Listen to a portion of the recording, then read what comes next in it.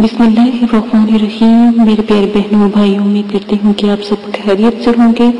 छोटे छोटे नया बमल और वज़ाइफ आपके साथ पेश किए जा रहे हैं। दुआ में याद रखिएगा। चले, चलते हैं वज़ाइफ की तरफ़। आज जब मैं आपको वज़ाइफ बताने जा रही हूँ, दो दिलों में नफरत पैदा करने का वज़ाइफ है। ये वज़ाइफ आप उस वक्त इस्तेमाल कर सकते हैं कि जब कोई गैर मर्द या औरत से किसी का तल्लक हो और घर में परेशानी हो, बेचैनी हो, नजायज तल्लुकात के लिए सिर्फ़ उनको ख़त्म करने के लिए ये अमल आप कर सकते हैं, वरना गुनाह, यानी गुनाह अजीम आपको अल्लाह फरमाएँगे। मैं खुद भी कभी नहीं चाहूँगी कि अगर ये अमल हम पेश कर रहे हैं तो आप जो है इस अमल का गलत इस्तेमाल करें। आपने सुबह तलु सूरज के वक्त उन्नीस हरूफ सफ़ेद मतलब कि सफ़ेद पानी पर लिखें, नीचे दोनों आदमियों के नाम लिखें और हरूफ आपने लिखना क्या है। हरूफ आपने सिर्फ़ और सिर्फ़ तोआ। तोए जो होती है ना तो जैसे पहला हरूफ आता है तोए, फिर आता है जोए। पहले आप लिखेंगे तोआ।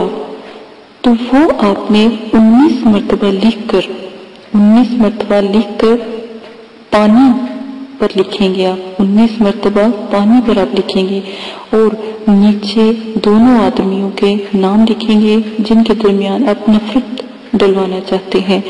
गौर से सुने, अगर आप कागज़ पर लिख के पानी में बहते हुए पानी में छोड़ेंगे तब भी काम करेगा। और अगर कोई ऐसा बर्तन में जिसके अंदर ये तो बस आपने 19 मरतबा लिख लेनी है और उसके अंदर पानी भर देंगे तो उनके दिलों में नफरत पैदा हो जाएगी, उनके दिल मतलब कि पानी की वजह से डूबे डूबे लगेंगे और नफरत पैदा होगी। ये अमलियात या ये इल्म जो आपको मैंने बताया है, ये सिर्फ़ और सिर्फ़ आपने जो जिसके, जिसका आपने नाम लिखा है तो वो भी जायज़ हो और जिसके लिए आप कर रहे हो वो भी जायज़ हो। यानी अगर दो आदमियों का नाम लिख रहे हो तो उसमें गुनाह का कोई भी तरीका आप इस्तेमाल ना करेंगे। इनशाला बहुत नायाब अमल है, आप करके देखिएगा। लेकिन जायज़ काम के लिए, वरना क्यामत के दिन आप की पकड़ होगी और क्या पता दुनिया में भी आपकी पकड़ हो जाए। बहुत नायाब अमल है, करके देखिएगा।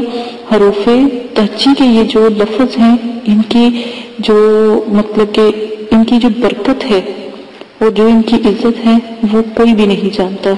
इसी के साथ इजाज़त चाहती हूँ, अपना ख्याल रखिएगा। अल्लाह हाफिज।